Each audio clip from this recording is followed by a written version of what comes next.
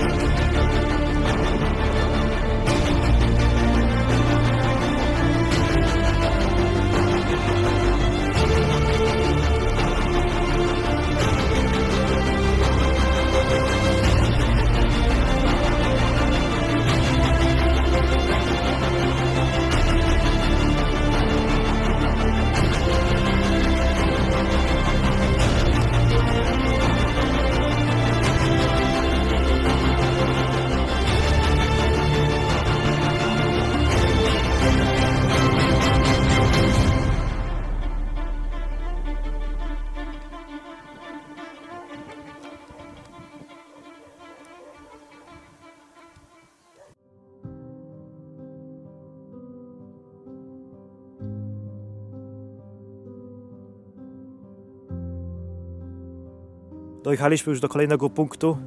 Tym razem znajdujemy się w gminie Nowe Miasto nad Wartą. Tutaj te szkody chyba są znacznie większe. Większy ob obszar zniszczonego lasu. Jest kompletna katastrofa. Wszystko jest położone. Pójdziemy tą ścieżką, zobaczymy jak rozległe są te zniszczenia. To jest coś przykrego naprawdę.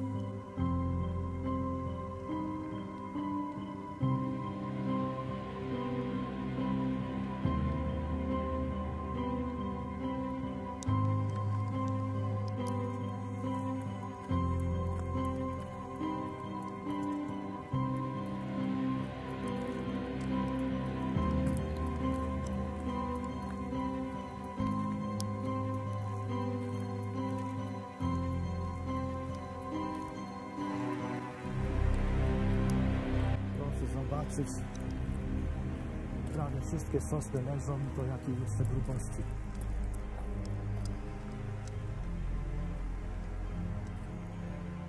Co to musiała być za siła?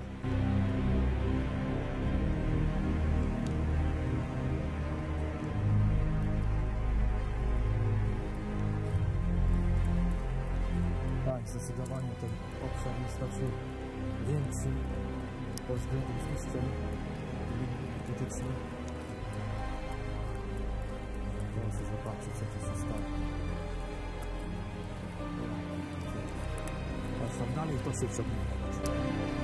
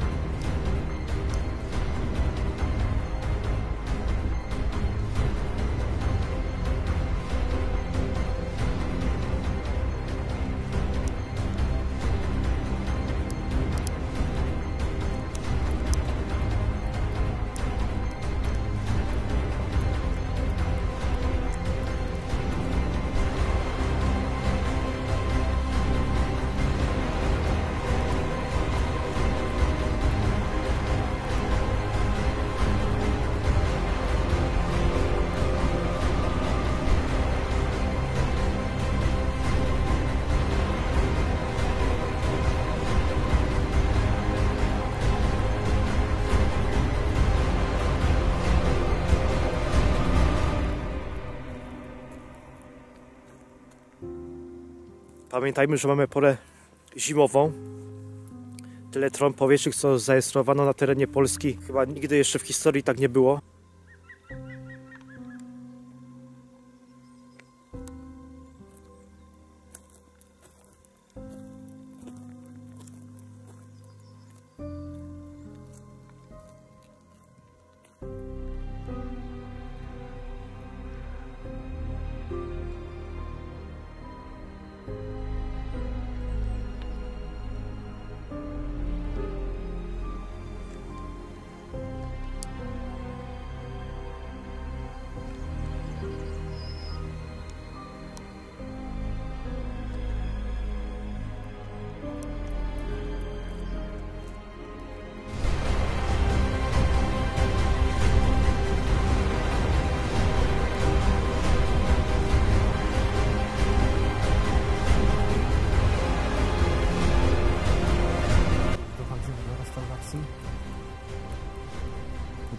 Nie ucierpiał, ale ten pas jeszcze dalej się ciągnie.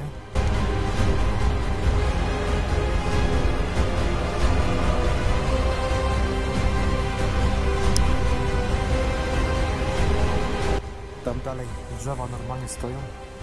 Niestety tej części lasu żywioł nie oszczędził.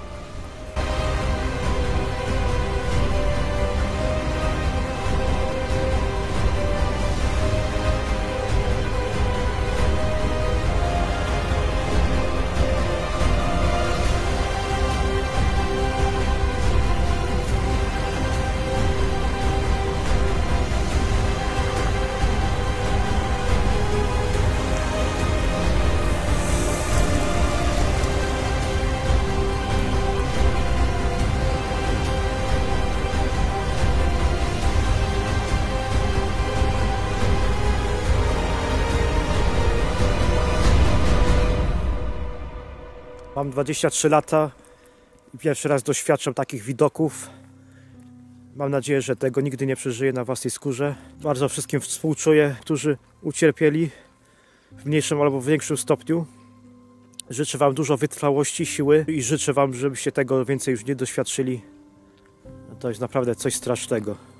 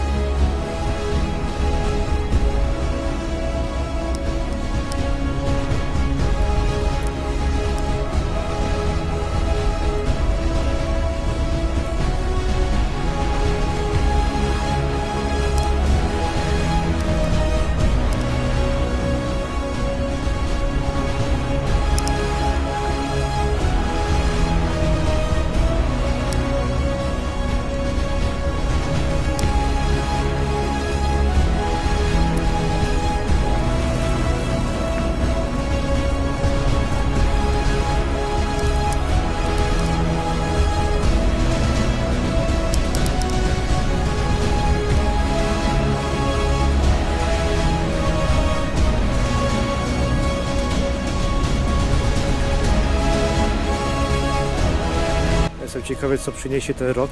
Póki co styczeń oraz luty przyniosły bardzo dynamiczne zjawiska burzowe. Bardzo specyficznie się zaczął ten rok 2022. Niestety z każdym rokiem te zjawiska mogą się nasilać coraz bardziej oraz częściej występować. Zobaczymy, co przyniesie ten rok pod względem burz.